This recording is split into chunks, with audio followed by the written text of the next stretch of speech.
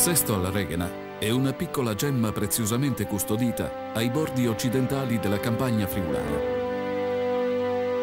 Una terra dalle pianure rigogliose, fertili, imbevute d'acqua.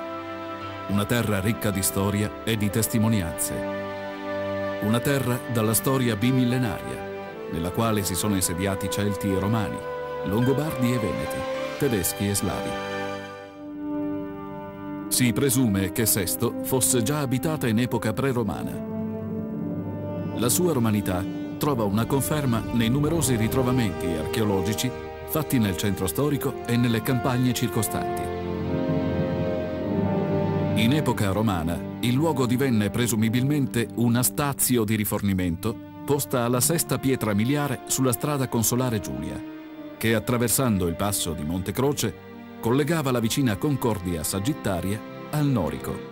L'abbazia benedettina è il cuore del borgo, silenziosa e mistica spettatrice della nostra storia.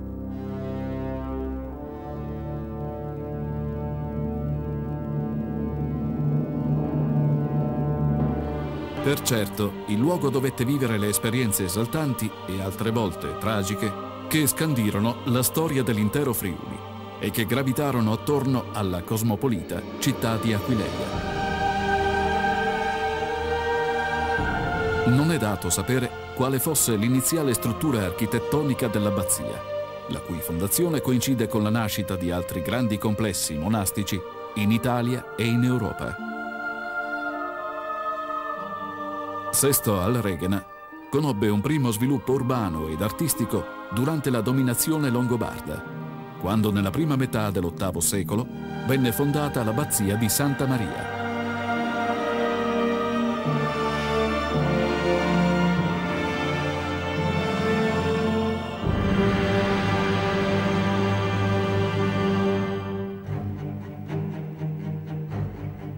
Certo, almeno nei primi secoli, questa che fu la maggior fondazione monastica di età longobarda in Friuli, godette di una invidiabile situazione patrimoniale e di potere. Nell'899 subì la devastante invasione degli Ungari, che la distrusse quasi completamente. Ma tra il 960 e il 965 l'abate Adalberto II iniziò l'opera di ricostruzione e l'abbazia crebbe la sua potenza non solo sul piano religioso, ma anche civile, tanto da assumere l'aspetto di un castello medievale con il suo sistema difensivo formato da sette torri e fossati.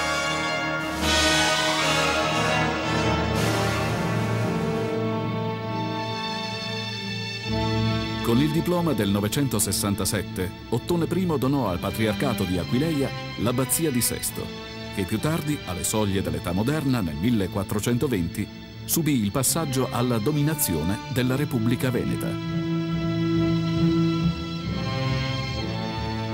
Dopo varie vicende, la giurisdizione religiosa passò nel 1818 alla diocesi di Concordia e nel 1921, infine, la Santa Sede le riconobbe di nuovo il titolo di abbazia.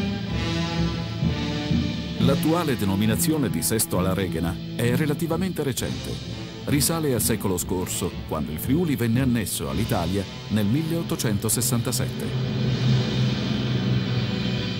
L'abbazia benedettina di Sesto alla Reghena ci offre una sensazione intensa e suggestiva. Si avverte il perfetto equilibrio fra passato e presente. Il suo silenzio racchiude una profonda spiritualità. Le sue pietre testimoniano un intero ciclo di storia. Numerosi sono i capolavori artistici custoditi al suo interno. Pittori di chiara fama si sono succeduti nell'arco di quattro secoli, dal 1200 al 1500, lasciando ai posteri opere di indubbia bellezza.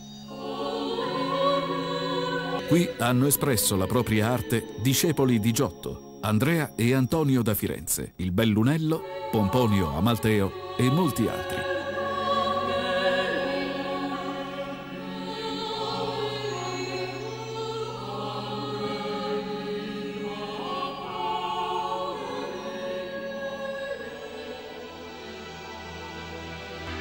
Sotto il presbiterio, la cripta, di epoca longobarda e gotica.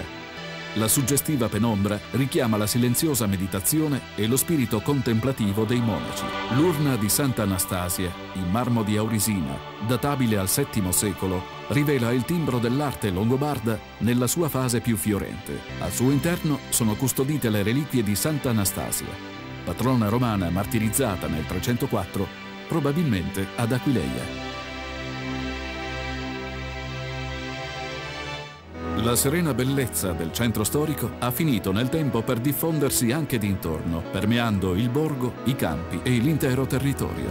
Attualmente il comune conta 5.300 abitanti, tra le sue frazioni Marignana, Bagnarola, Ramuscello.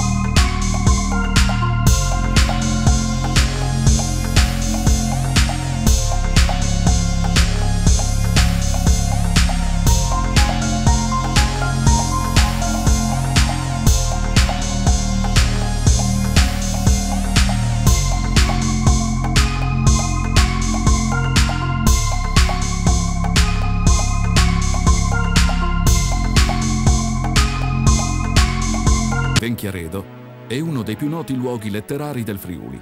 Celebrata da Ippolito Nievo nelle sue Confessioni di un italiano, è riscoperta da Pierpaolo Pasolini.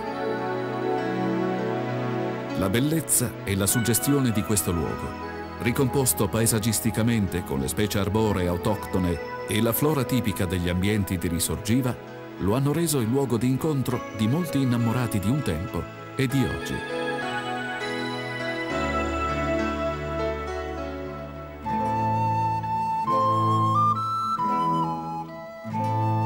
Chiesetta di San Pietro è un piccolo gioiello artistico immerso tra il verde e la tranquillità della campagna.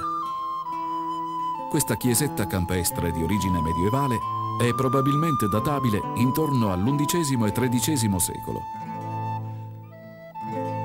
L'attuale aspetto dell'edificio è dovuto all'opera di recupero e restauro promosso dal compianto Giovanni Sigalotti e da un gruppo di volontari, terminato nel 1997 e che ha ridato splendore a questo antico e caratteristico luogo di culto.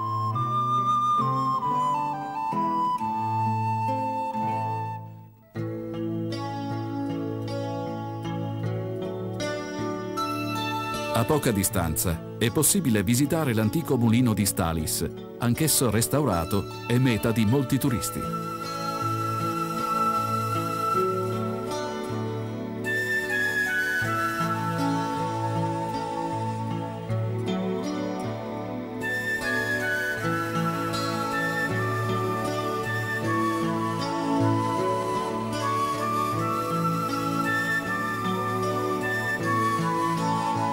Nella frazione di Ramuscello si trova l'antico borgo di Ramuscello Vecchio, all'interno del quale possiamo ammirare Villa Freschi, un bellissimo esempio di villa settecentesca.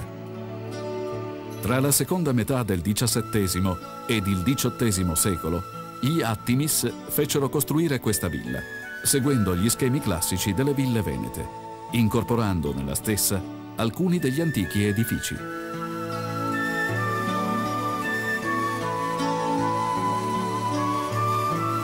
La chiesa, dedicata alla Madonna della Salute, fu unita alla villa in un periodo successivo e divenne più recentemente cappella privata, dopo essere stata chiesa parrocchiale del villaggio dal 1789 al 1935.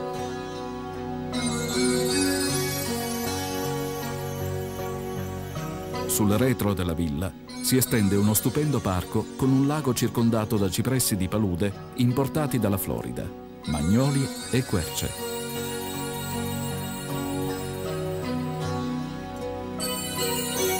Sesto alla Regna, cittadina ricca di storia e tradizioni.